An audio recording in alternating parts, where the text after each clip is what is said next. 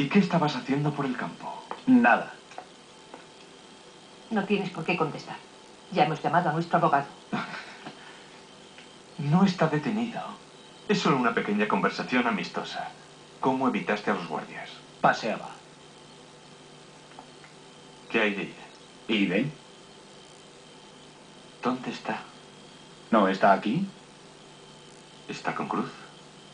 No lo sé. ¿Dónde está Cruz? Eres un estúpido protegiéndole. Te ha robado a tu mujer. A mí. Nunca ha sido mi mujer. Kane es nuestro huésped. Tiene todo el derecho a estar en el jardín, o incluso en la casa de huéspedes. Y tú y yo sabemos que Gina es capaz de entretenerse con cualquiera.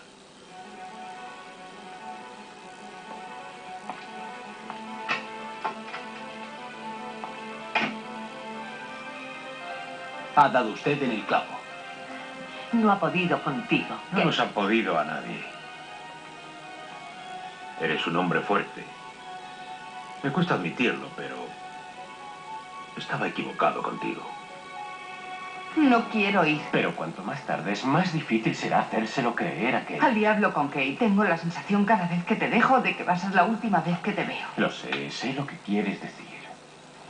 Siento que si me atreviera a decirte todo lo que pienso en un solo momento, desaparecerías. Lo sé, amor mío, pero yo estoy aquí para decirte que es irremediable. Nunca te has dado cuenta de que desde que has vuelto, incluso desde Utah, no puedo trabajar por las mañanas.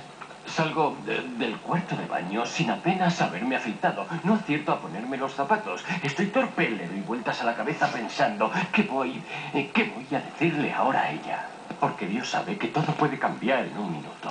Y puedo no volver a tener jamás otra oportunidad. Pero no, tan pronto como salgo por la puerta o llego al trabajo, pienso en doce cosas más que no he dicho. No puedo controlarlo. Es demasiado intenso. Todo va a salir bien. Es como si el mundo se redujese a nosotros dos. Pero es un pensamiento reconfortante. Te quiero. Irene, déjame volver contigo. No quiero preocuparme de cómo vas a justificar el tiempo. No debes acompañarme. No quiero volverme loco preocupándome. Ya estás loco, así que eso es imposible.